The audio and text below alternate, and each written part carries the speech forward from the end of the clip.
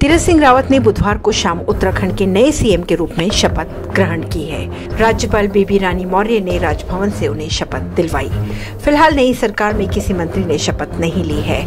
इससे पहले भाजपा विधायक दल की बैठक में उन्हें नया नेता चुना गया। बैठक में छत्तीसगढ़ के पूर्व मुख्यमंत्री और उत्तराखंड के प्रभारी रमन सिंह, रमेश पोखरियाल के अलावा कार्यवाहक मुख्यमंत्री त्रिवेंद्र सिंह रावत, प्रदेश अध्यक्ष बंशीधर भगत, दुष्यंत कुमार गौतम, यशपाल आर्य, रेखा आर्य समेत उत्तराखंड के भाजपा के तमाम सांसद और विधायक मौजूद थे। तीरथ का परिवार भी शपथ ग्रहण समारोह में शामिल था। उत्तराखंड के मुख्यमंत्री तीरथ सिंह रावत गाँव की पगडंडी से ऐसे ही सीएम की कुर्सी तक नहीं पहुँचे। यहाँ तक पहुँचने के लिए उन्होंने काफ़ी संघर्ष किया। अगर बात करें सन 2019 के लोकसभा चुनाव में तो तीरथ ने गढ़वाल संसदीय सीट से संसदीय राजनीति में पहला कदम रखा था। पौड़ी गढ़वाल सीट पर भाजपा प्रत्याशी तीरथ सिंह रावत ने जीत दर्ज की थी। उन्होंने कांग्रेस प्रत्याशी मनीष खंडूडी को हराया था।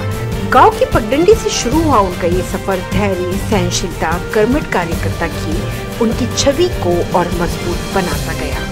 कार्यकर्ता के रूप में राजनीति शुरू करने वाले तीरथ का अभिभाजित उत्तर प्रदेश और उसके बाद उत्तराखंड की राजनीति में विशेष दखल रहा। जनपद पौड़ी के कलजी खाल ब्लॉक के सीरो गाँव के मूल्य निवासी तीरथ रावत का राजनीतिक सफ़र बहुत संघर्षपूर्ण रहा है।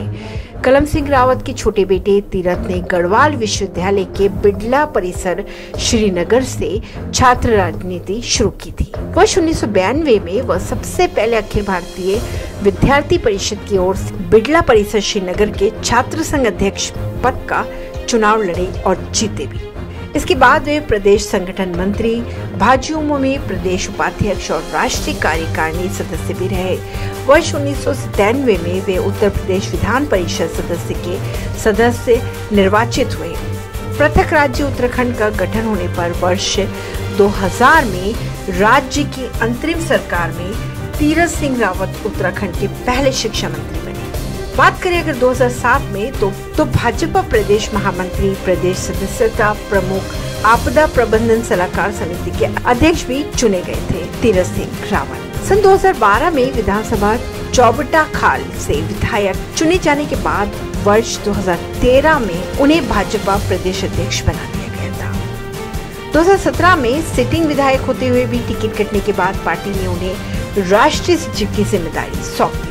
वर्तमान में तीरथ हिमाचल प्रदेश के प्रभारी की ज़िम्मेदारी संभाल रहे थे। राम जन्मभूमि आंदोलन में दो माह तक जेल में रहे तीरथ ने उत्तराखंड राज्य आंदोलन में सक्रिय भूमिका निभाई थी। तीरथ सिंह रावत ने प्रदेश अध्यक्ष, प्रभारी और प्रत्याशी के रूप में अपना शत प्रतिशत परिणाम दिखाए हैं।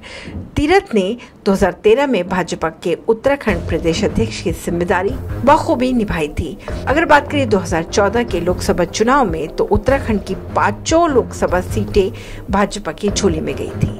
लोकसभा चुनाव 2019 में पार्टी ने तीरथ को गढ़वाल सीट से प्रत्याशी बनाया था और हिमाचल प्रदेश के प्रभारी का दायित्व भी सौंपा था। उन्होंने अपनी जीत के लिए हिमाचल प्रदेश की चारों सीटें जीतकर पार्टी में खुद के कद को और मज़बूत किया था। तो ये था सफ़र तीरथ सिंह रावत का, एक गाँव की पगडंडी से निकलकर प्रदेश का मुख्यमंत्री बनने तक का सफ़र। नई दिल्ली से परवीनर राष्ट्रीय न्यूज़ नेटवर्क के लिए।